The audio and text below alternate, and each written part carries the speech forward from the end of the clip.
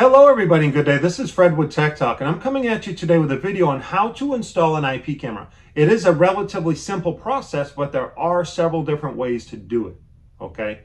Uh, the first way and the most common way is to use a network video recorder, an NVR. And they have two types of recorders nowadays. They have a, a standalone recorder and they have a standalone recorder with a built-in PoE switch, okay?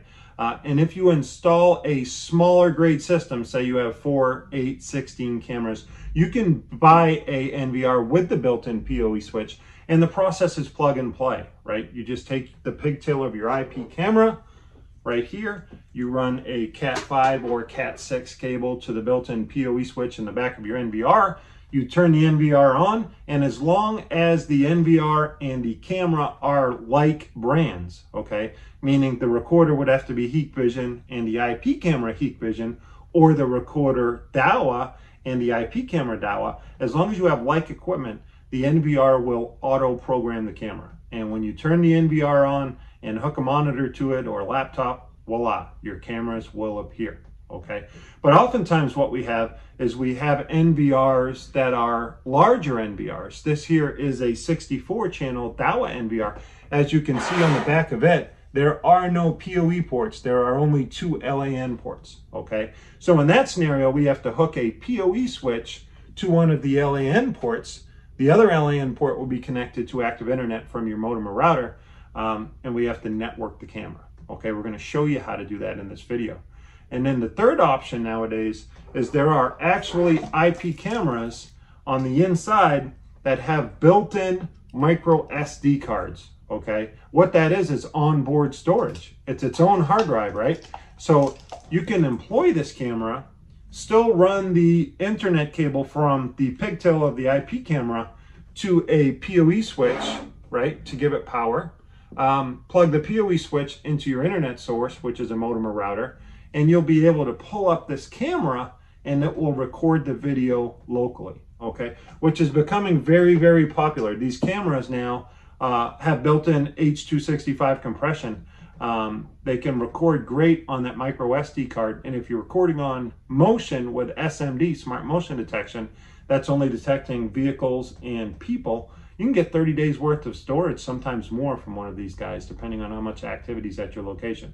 So we're gonna cover each of these three methods in detail, and we're gonna do it right now.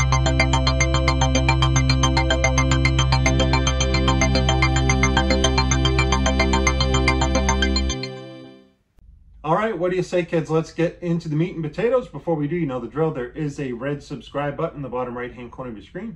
Please click that and subscribe to our channel if you have not yet done so. That way you can be notified when we upload future content. Also, like the video if it's useful to you. And as always, leave comments. This very video is based on a subscriber comment. And, basically they said, hey, look, you're doing great videos on, you know, FTP storage, on you know email notifications through SMTP servers. Um, but some of us don't need the basics. You know, I can't even figure out how to network an IP camera. Um, so we're going to do a video on it. Okay. Like we said, there are three ways primarily to hook up a IP camera. And we're going to start with probably the most common. Okay. And that is the guy that has a NVR, uh, could be four channel, eight channel, 16 channel NVR that has a built-in PoE switch okay? So in this scenario, we're going to plug an IP camera like so. I'm gonna hook up the pigtail with a Cat6 cable. We're gonna plug it into the back of the built-in PoE switch, right? We're gonna fire up the NVR and we're gonna pull up the camera. Everything should be seamless. Um, again, it has to be like brands, okay? If it's a Hikvision camera and a Hikvision NVR with the built-in PoE switch, it's going to be plug and play. Same thing with Dahua. If you have a Dahua NVR with a built-in PoE switch and a Dahua camera, you're going to fire up the NVR. It's going to be seamless, plug and play, right? Um, so we're going to show you that part first. And then we're going to walk you through what happens. Okay, now I have a Hikvision NVR with a Dahua IP camera. Essentially, this PoE switch that's built into the NVR is going to be useless. It's not going to be plug and play anymore. Uh, they're not like brands. So what we're gonna have to do is we're gonna have to plug the Dahua IP camera into a standalone PoE switch that is networked on the same network as the NVR, okay? And we'll be able to pull that up uh, using a IP scanning tool, find the IP address of the camera, um, give it a, you know, a username and password, and plug those credentials into the NVR, and then it will be able to pull up the IP camera through the ONVIF protocol, okay, our open protocol. So let's start again with, with step one, which is going to be the most common.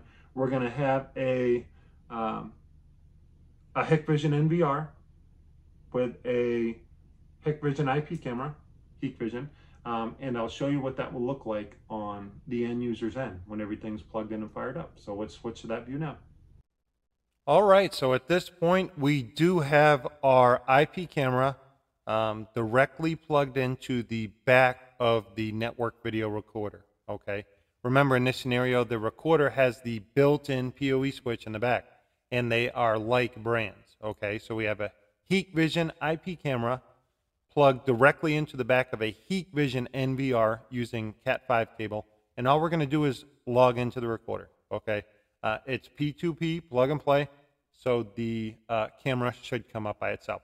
The first thing we have to do is identify the IP address of the recorder, okay? Any IP devices on your network, they have an IP address. That's how you find them on a network. So we're going to, seeing this as a Hikvision camera, we're going to open up the Hikvision uh, IVMS, if this were Dahua, uh, you would use Dahua's Smart PSS, okay? But you need to locate the camera on your network, okay? If it's not Dahua or IP or uh, Hikvision, you can use a IP scanning tool um, to find that camera on your network as well. Uh, there's a link to an IP scanning tool called Advanced IP Scanner in the description of this video. Okay, so the first thing I want to do, I'm going to go to the command menu here on the top left portion of your screen, you'll see the four squares right here. We're going to click on that. We're simply going to go to device management here, and we can click online devices, okay, right there. And it will tell us any Hikvision uh, hardware that's on our network. So we see right here it has located the NVR, okay. It's at 192.168.053. So if we type that IP address in a browser, we should get the NVR. Okay? So let's do that.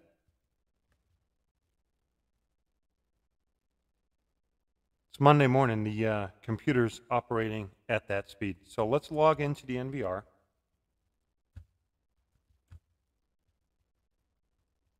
And hopefully we see the camera. If not, I'm going to feel foolish.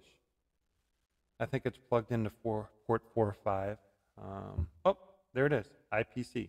Okay, so if we click on this, we should see our IP camera that's haphazardly um, in the living room. Okay, there it is. This is just a two megapixel uh, IP camera in the living room. But as you can see, the installation process was seamless, right? We plugged in the camera to the NVR, we fired up the NVR, we logged in the NVR, and there's our camera. Okay, if we had a monitor hooked to the NVR, you'd see the same picture, okay? Um, so that piece is relatively simple, okay? Now let's cover, now let's cover if we have a Hikvision uh, NVR and a Dahua or an ONVIF IP camera. How do we locate it then? Okay, it's not going to be plug and play because it's not like brands. So let's cover now how we would hook up a ONVIF camera. All right, so now we have a Dahua IP camera uh, plugged into an IP uh, PoE switch that is uh, connected to our local network, as is the NVR. Okay, um, so essentially we have a PoE switch. Uh, the camera is plugged into a PoE port on the PoE switch, and our modem or router uh, is also plugged into the PoE switch as is the network video recorder. It's a Hikvision NVR with a Dahua camera, okay? Um, so the first thing we're going to do is we're going to scan our network. We mentioned in the previous clip the advanced IP scanner tool. What this does, once you download it onto your PC, when you run this tool, it's going to scan your entire network and it's going to show you any clients or devices that are connected uh, to your network and being routed through your router or modem. So let's click on that and find the IP address of our Dahua camera. We're just going to hit scan here.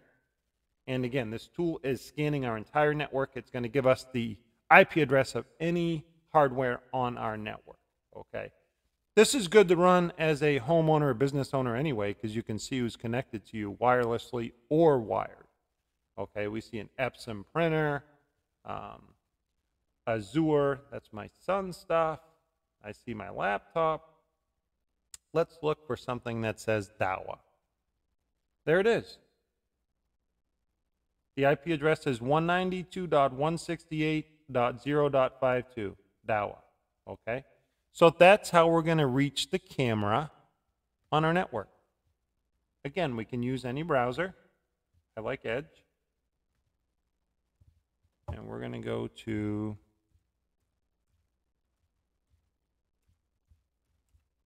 five two.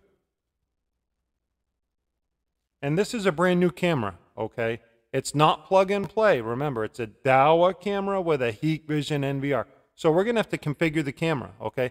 That's why it's easier to use like equipment. If you're going to install a recorder uh, and it's a Hikvision recorder, use a Hikvision camera. You don't have to mess with this part. Uh, but if you have a pre-existing recorder and you're adding a new camera and it's not a like brand, then we have to go through these steps, right? So we're going to pick our reason, region. We're in the United States.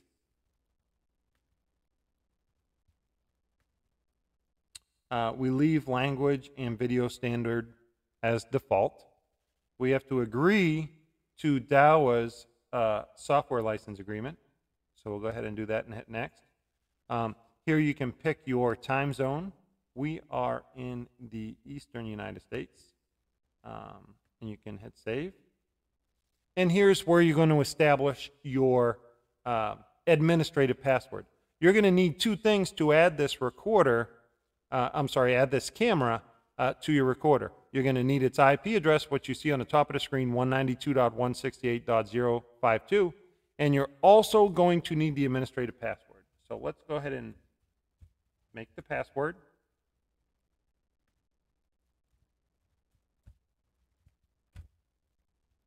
Recovery email address, very important. Uh, give them your email address, and in the event you forget the administrative password, um, you can reset it using your email address. If you skip this step, um, you're going to be in trouble if you forget the admin password. Okay. So let's hit next here. And the initialization process, okay, has finished. Okay. If this were a standalone camera, okay, you could download Dahua's Smart PSS phone app. Uh, I'm sorry, Dahua's DMSS phone app on your phone. Um, you could scan this QR code you could put in the administrative username and password, and you could run this app, uh, and it will automatically connect to your IP camera remotely by P2P. Okay? So if you uh, use the micro SD card option and you have onboard storage with this camera, all you have to do is download the DMSS phone app, scan this QR code, and you can live view and play back the camera. Okay? But we're going to connect it to the recorder. Okay, so we're going to go through the rest of these prompts. Okay, this is asking for permission to auto check for updates. Okay, that's a good option to do. And we're back to the login. Okay, so now we can make sure the administrative password that we created works. And we should see another camera located in the living room. Uh, this is looking at something else, hopefully not my wife working or dogs misbehaving. Um, let's go to substream.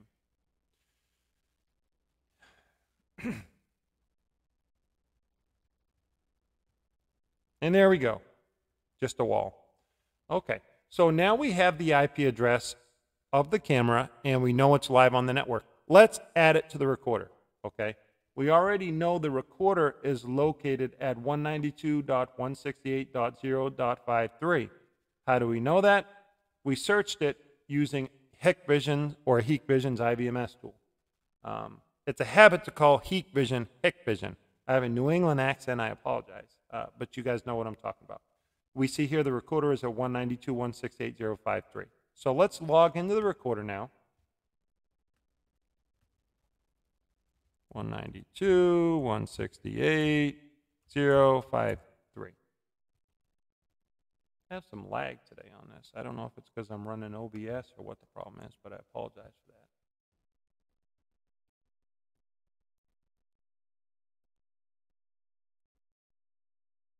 that. Okay, here's our heat vision recorder.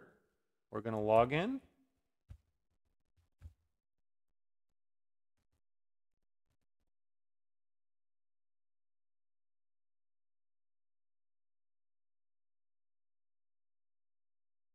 And as you can see here, it did not auto program. Remember when we did this before with the Hikvision camera, uh, the camera showed up, I believe, as camera four. It showed up on one of the PoE ports. Uh, because this is a Dahua camera not plugged into the back of the NVR's built-in PoE switch. It's, it's plugged into a PoE switch on the network. It's not showing up, right? So we have to manually configure it, okay? So we click the configuration tab on the NVR. And we are going to go right here in the left-hand column uh, under system, you'll see camera management, okay? And we have an IP camera, okay? So we want to click add. We'd like to add an IP camera, okay? And it's not Hikvision, it's ONVIF. And we know the IP address is 192.168.0.52, right there. We know the password is admin. I'm sorry, the username is admin. The password is simply the password we created when we activated the camera just a minute ago. Okay? So we're going to enter those credentials just like I told you, the IP address and the password. We're going to hit OK here. All right? And we will see in a minute under status that this camera will go online. Okay? We might have to switch out and switch back in. But here we go. It's online. Okay? Security strong. It gives us the IP address. Now, now when we go to live view, we'll be able to see that camera. Camera one. Oh, no. It's under IPC. I apologize. There's our IP camera, okay? So we have successfully networked a ONVIF IP camera with a heat vision NVR, okay, or DVR, either. Um, it's a simple process, right? We also showed you in this clip, if you wanted to use your camera for a standalone IP camera, right, all you need to do is run a cable directly from the IP camera to the PoE switch, the PoE switch, of course, would be linked to your modem or router that has active internet. Um, and all you have to do is deploy the phone app. Again, for a Dahua IP camera, you would use the Dahua DMSS phone app that you would find in your app store. For a Hikvision um, IP camera, you would use the HIK Connect app. Again, it's found in your app store. Uh, you would log into the camera as we showed you in the video go to the network settings and under advanced network settings, you'll find the P2P platform with the QR code. You scan that QR code into your phone app, enter your username and password, um, and voila. You know, you'll be able to view that standalone camera without an NVR, live view and playback. Okay. Very simple and cost effective process. Hopefully you enjoyed the video. We'll see you in the field.